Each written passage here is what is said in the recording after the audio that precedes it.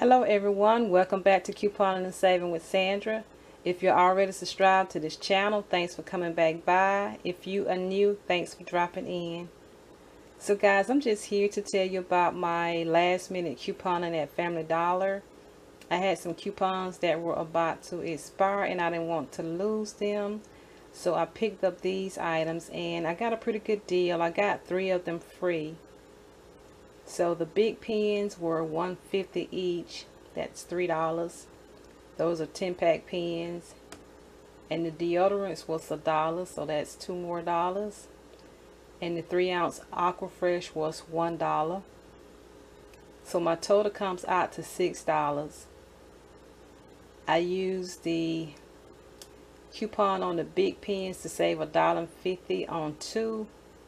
So one of those was free and I had the dollar coupons for the deodorants. So both of those were free. I had a 75 cent coupon for the Aquafresh. So the Aquafresh was 25 cents. So my subtotal for this transaction was 175 after taxes my total was $2.23 so I'm just going to show you guys my receipt this is my receipt. See there, uh, both of the pins have been rung up and then that 150 came off. And then there's the Aquafresh for a dollar and 75 cents came off. And then there are the deodorants. There's one rung up and then a dollar came off. And then there's the other one and a dollar came off.